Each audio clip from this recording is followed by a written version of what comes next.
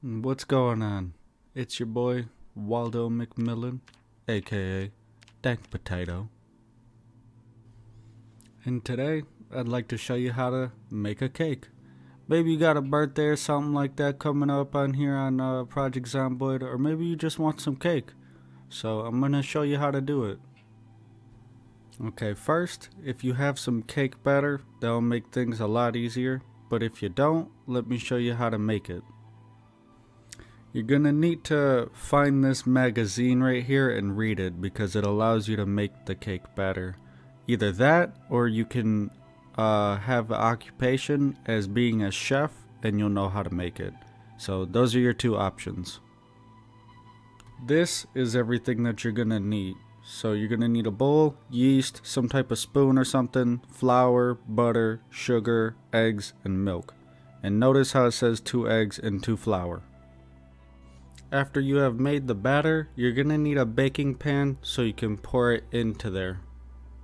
Once the baking pan is ready to go, you can make um, the cake with up to four different items, like four, four any items that you want. But for this example, we're gonna make a fruit cake. this part of the video is gonna be like a walkthrough, so I can just show you how to do everything.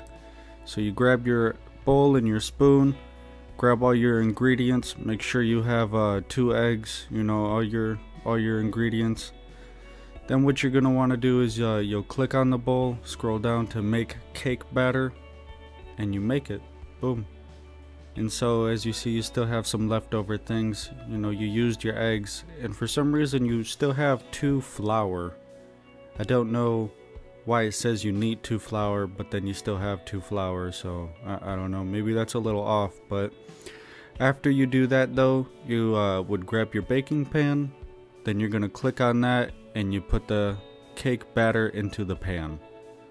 And there you go. Now you have cake preparation. And once you have that then you can put uh, your four whatever ingredients that you want in there. So we're gonna put some strawberry in there. We'll put some uh, Put some pineapple in there. We'll put peach in there and we'll put some grapes in there. And then when you put all this in there, you just simply click on the cake preparation, scroll down and you can put your ingredients in there. And you have to put them in there one by one, but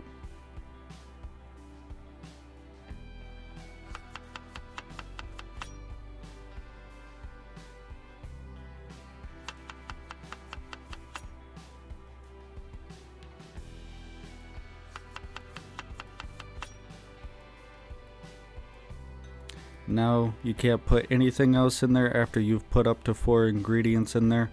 And as long as you have like a working stove in your house, you can just throw that bad boy right in there. If you don't, then you could uh, use a campfire or you could use one of those antique ovens and throw some wood in there.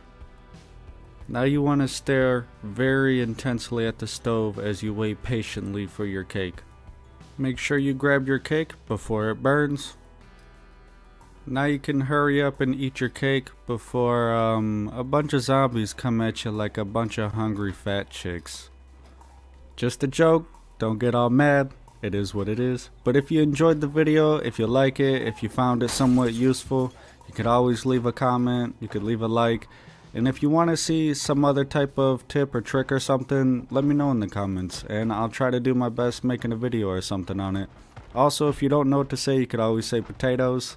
And uh, thank you for watching all the way to the end. Have a blessed day.